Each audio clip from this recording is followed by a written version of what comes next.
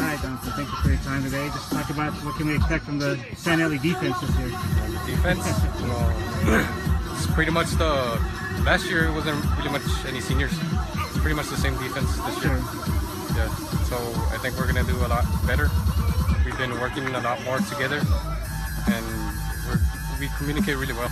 And What, uh, what's maybe just from what you've seen in the offseason, maybe what's been the biggest improvement? Uh, just the communication amongst ourselves. Like, we really have grown together, and have, we know how to play together. now.